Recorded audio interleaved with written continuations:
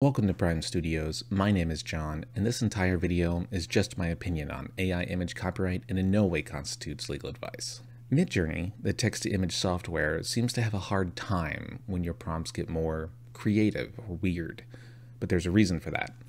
These image generation software models are based on datasets of other people's images, so when prompting it for an image that has never existed, it has less to reference and thus has a far more difficult time making a realistic image. Sadly, it appears that perhaps millions of real people's images were scraped off the internet and used without their permission in order to make these AI image generators work. Perhaps even your own images that you've posted online were scraped. I even had an instance myself in which I had a Getty Images logo show up in a generated image. Understandably, Getty Images is suing Midjourney. But they're not the only ones. A collection of artists has filed a lawsuit against both Stability AI and Midjourney for the theft of their copyrighted works being used in training data without their permission. I feel this is where people are focusing on the wrong thing. Most people seem to be interpreting the copyright law in relation to the images these AI programs are generating and how those images steal the style or resemble the original works of the author. I personally think that these, and in fact all AI generated images, whether they're like the originals or not, most definitely fall under fair use. And the real issue is not whether the AI generated images qualify as a copyright violation, but whether stealing someone else's copyrighted images for training data to make your own very profitable software falls under fair use, especially when those images are not present in the final software but are required in order for the software to work as it does.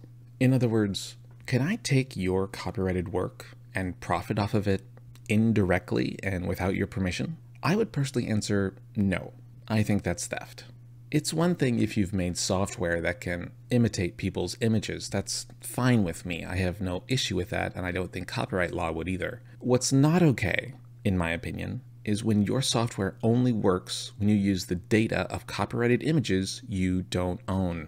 As far as I understand it, without all of our copyrighted images, Midjourney software simply wouldn't work. And I do believe that that is copyright theft. In my opinion, the bottom line is that Midjourney illegally took property that wasn't theirs and used it to make a profit. The how and the why of how they did it is irrelevant. Theft is theft. The other major copyright issue is whether or not an AI generated image should have copyright protection just like a photograph or painting does. The US Copyright Office has said no. AI generated images do not have copyright protections. So, technically speaking, as far as I know, anyone watching this video can steal any of the AI generated images I've made for this video.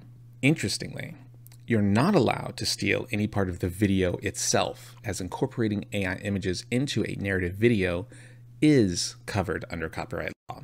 But if you do plan on taking an image from this video to use for yourself, I hope you make sure it's actually AI generated and not a real photo. You can tell the difference, right? Now, I strongly disagree with this interpretation of copyright law, and here's why. If I go to a software program like Midjourney, put in a prompt and hit a button, an image, well, several actually, will be generated. What the images are is irrelevant. What's relevant is that I was the one who pushed the button. So, why does that matter? Well, because that's how the courts define when a photograph is created, and it's copyright, when the shutter button is pressed. Do I know anything about how the software of a digital camera works? No. Do I know anything about how the software of Midjourney works? No. But I am the one who pushed the button in both instances. What does it matter, from a legal point of view, which software and hardware combination I was using, or what kind of image was generated? Either way, I changed some settings and hit a button and a digital image popped out. My image, that I feel I should own the copyright to. Going even further, you could easily argue that any image edited with Adobe Photoshop's autofill features or their new Firefly generative fill integration now no longer has a copyright since part of the images were AI generated. After all, what's the difference between Adobe software deciding what the pixels in an image will be and Midjourney software doing the exact same thing? So then the question becomes where are we supposed to draw the line between giving copyright protection to quote real images and not AI generated ones? What do you think? Have I missed the point or do you agree? Let me know in the comments below, and if you're interested in supporting me further, you can check out some of my prints below. All real photographs, I swear. Thanks for watching.